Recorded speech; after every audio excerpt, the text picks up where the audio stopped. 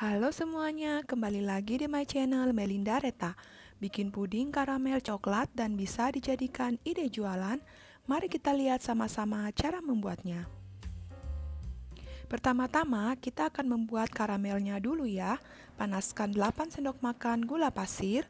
Aduk-aduk sampai berubah warna menjadi merah kecoklatan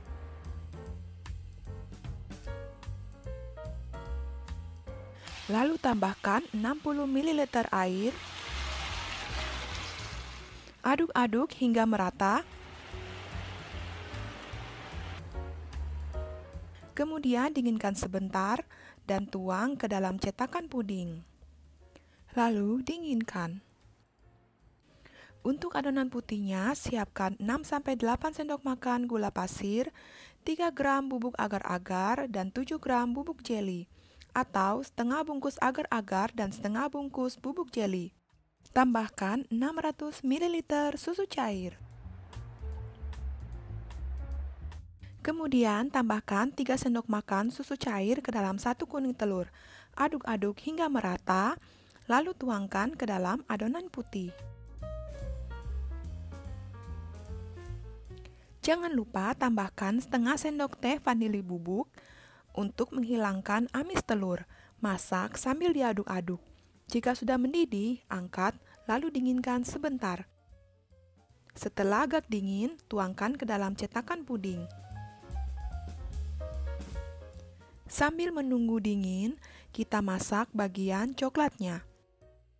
Takaran gula, agar-agar, dan jelly powdernya kurang lebih sama dengan bagian putihnya ya. Cuma di sini kita tambahkan 1 sendok makan kakao powder.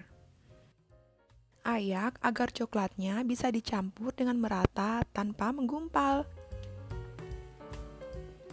Di sini kita tambahkan sedikit air dulu ya, agar kita gampang mencampur bubuk coklatnya. Setelah merata, baru kita masukkan sisa airnya.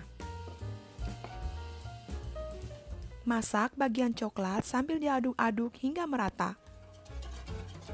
Setelah hangat, tambahkan 60 gram coklat batang atau dark coklat. Aduk sampai semuanya tercampur dengan baik. Jika sudah mendidih seperti ini, angkat lalu dinginkan sebentar saja ya sebelum dituangkan ke dalam cetakan.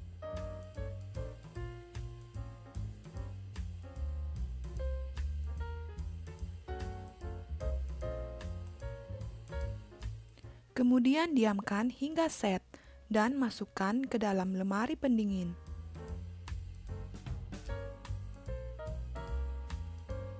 Setelah dingin, siap untuk disajikan. Rasanya lembut, segar, manis, dan legit. Cocok dengan rasa coklat yang enak. Cocok juga sebagai ide jualan. Selamat mencoba. Jangan lupa like, komen, dan subscribe-nya ya.